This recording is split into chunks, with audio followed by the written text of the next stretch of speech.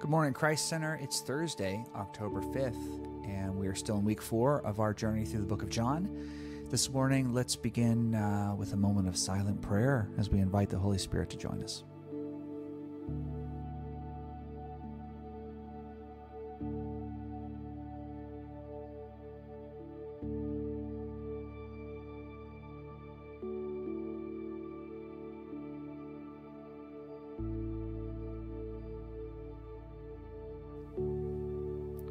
This is Abby Cox.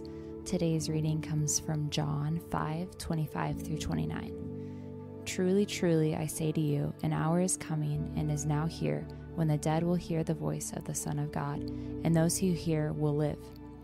For as the Father has life in himself, so he has granted the Son also to have life in himself. And he has given him authority to execute judgment, because he is the Son of Man. Do not marvel at this, for an hour is coming when all who are in tombs will hear his voice and come out. Those who have done good to the resurrection of life, and those who have done evil to the resurrection of judgment. One of the major complaints against God by those who do not yet believe or who have walked away from the Lord comes in regard to whether or not God is good and fair to those who died before having a chance to hear the good news of Jesus Christ. How can God judge someone who didn't hear?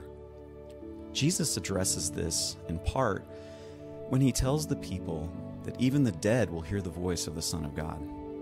When Jesus gave his life on the cross, the scripture tells us he then descended into Hades and led captives in his train. In other words, he set people free from captivity.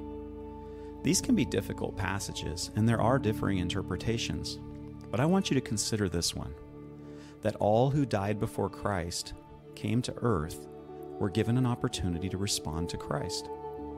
There are other passages that seem to line up with this idea. In another scripture, Luke 12 47 through 48, Jesus shares that those who have sinned willfully will be punished greatly, but those who have sinned in ignorance will be punished less severely.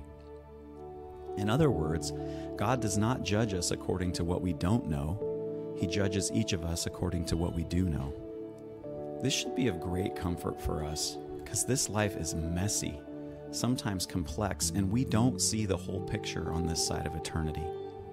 We as humans only see from our perspective, yet God sees everything exactly as it is and has chosen to make His grace available to all of us who will receive it. He's the only one who can balance judgment and mercy. He is the only perfect judge. Thank God for that. It relieves a lot of pressure. Instead of the world's approach, which is to either judge nothing as good or evil, or to judge everything and everyone, we're invited to bring all we have to Jesus, the perfect judge. Only He has the power to give life.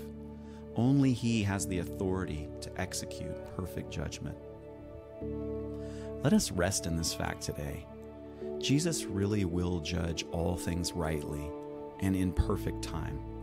So let us walk in gratitude and humility, doing our best to spend each day following Him and trusting Him. Let's pray. Jesus, our Lord, thank you for your perfect love. Thank you for your perfect judgment and your incredible mercy. We ask today that you would convict us in every area that is not aligned with your heart and your commands. We ask that you would empower us by your Holy Spirit to serve you and our neighbors today in the same way you've served us in giving your life for us. We love you and we receive the grace you've extended to us. Amen. Great being with you today, Christ's Center. We'll see you tomorrow.